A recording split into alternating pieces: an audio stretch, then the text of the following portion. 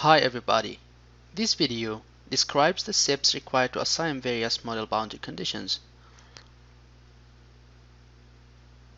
First of all, we will assign aquifer recharge to the model.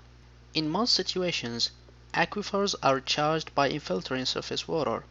In order to assign recharge in visual MODFLOW, we must be viewing the top layer of the model.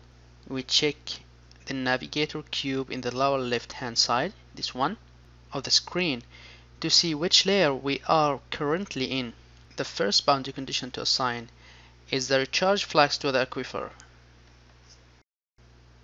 From the top menu bar, we go to Boundaries and we select Recharge.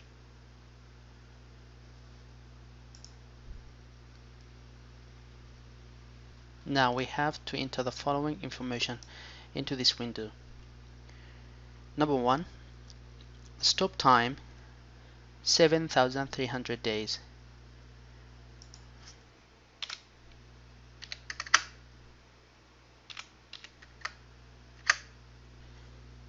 and the recharge is 100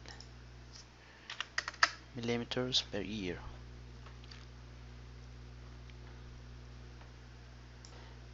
Zoom in and select this one and this one.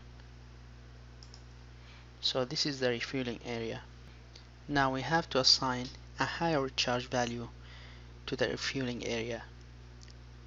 So we go to assign and from here window